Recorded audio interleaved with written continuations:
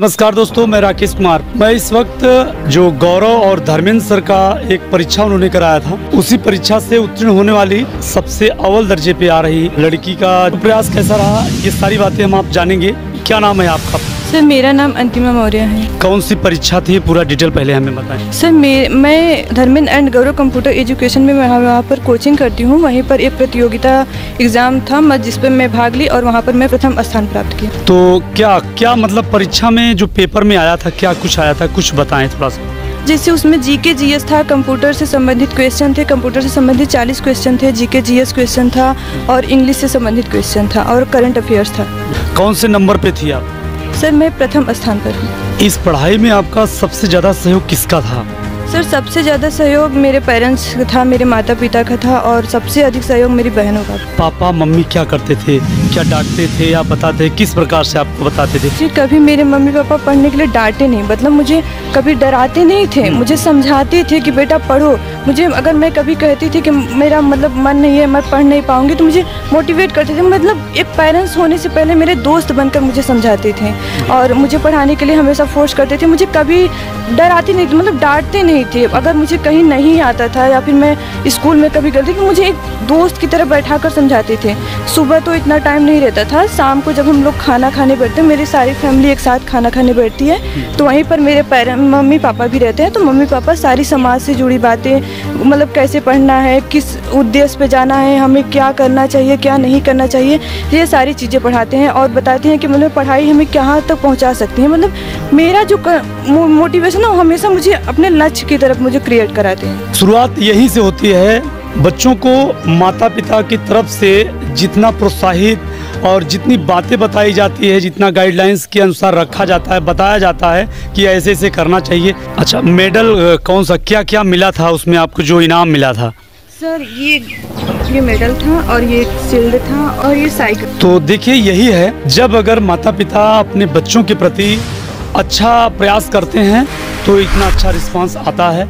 कि अव्वल दर्जे पे चले जाते हैं बच्चे। हमारे साथ इनकी मम्मी जुड़ चुकी हैं। क्या नाम है सबसे पहले बताएँ? मेरा नाम है सरस्वती मैं गुठवा की रहने वाली हूँ। और मैं बच्चों को तीन बजे भोर उठाती हूँ। छः बजे मैं पढ़ाई को उनके समय देती हूँ। अच्छा अच्छा। इसके बाद उनके खाना दिए टिफ़िन खाना खिला के टिफ़िन देती हूँ स्कूल जाते हैं। स्कूल से आने के बाद वहाँ से छूटती हैं तो एक फिर कोचिंग फिर जाते हैं। जब चार बजे छूटती हैं ये तो कोचिंग फिर जाती हैं। अच्छा इतना सारा कार्य कैसे संभव हो पाता है? क्योंकि देखिए काम भी रहता है और बहुत सारे घर में भी भाई सब लोगों के यहाँ काम है आपके यहाँ भी बाकी लोगों के यहाँ काम है। कैसे संभव कर पाते हैं आप लोग इतना कार्य? काम तो बहुत है सर पर मैं काम यहाँ समय से अपना काम भी कर लेती हूँ अपने बच्चों को समय से भोजन बना देती हूँ अपने समय से अपने पति का सेवा में लगी रहती हूँ अब समय से अपना गैया भी देखती हूँ खेती बाड़ी भी देखती हूँ अपना बच्चों की समय भी देती हूँ। अच्छा देखिए करने वाले जो होते हैं वाकई में वो सारा कार्य संभव कर सकते हैं। पढ़ाई के लिए जिस प्रकार से ये लोग इतनी मेहनत करते हैं कि सारा काम स्वयं करने के बाद बच्चों को एक नई दिशा देते हैं, तब यहाँ तक पहुँच पाते हैं बच्चे। देखिए, जब आप पेड़ लगा दिए हैं तो पेड़ लगाने का मतलब ये नहीं कि जिम्मेदारियाँ ख़त्म हो जाती हैं। तो बच्चों को कैसे पाला जाता है, किस प्रकार से, कितनी जिम्मेदारियों से, कुछ समय तक समय देने के बाद ये जो हासिल हुआ है आज इस बच्ची को ऐसे ही सिस्टम से, लोक व्यवस्था से यहाँ तक ले आ पाते हैं बच्चों को। और क्या कहना चाहते हैं जो आप देख रहे हैं आज आपको तो उनको क्या कहना चाहते हैं कि बच्चों को कैसे पालना चाहिए, कैसे बच्चों को पढ़ाना चाहिए, क्या कहते हैं? सर लोग कहते हैं कि लड़कियाँ हम्म, हमारे तो चार लड़कियाँ हम लक्ष्मी मानते हैं। लड़का एक है बहुत राज लेने वाला हो गया है ना हमें कोई टूट नहीं है ना कोई उससे हम कोई समस्या मन में आती है ना हमारे पति को आती है ना हमें आती है हाँ।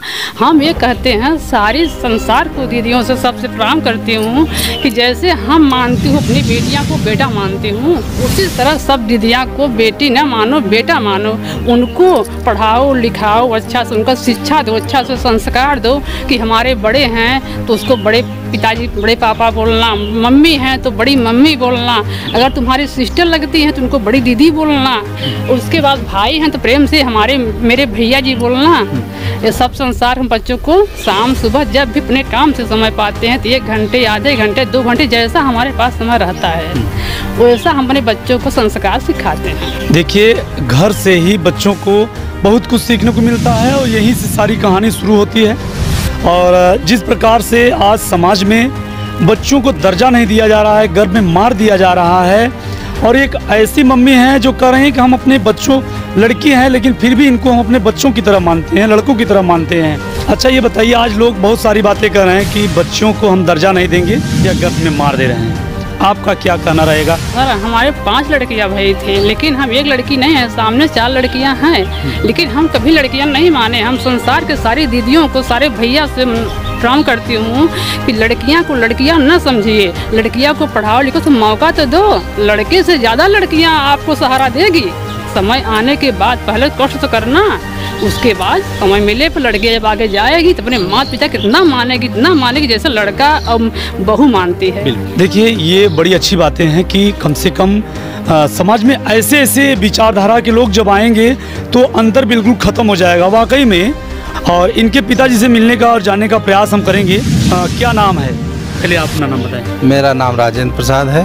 मैं बच्चों को कहते हैं कि पहले पढ़िए उसके बाद समय निकाल कर जो बचे उसमें जो बाटे थोड़ा काम करिए और, और पढ़ने में ज़्यादा समय गवाइए। समाज हमारा तभी अवेयर्स हो पाएगा जब ऐसी विचारधारा को ले लोग लेके आएँगे समाज में।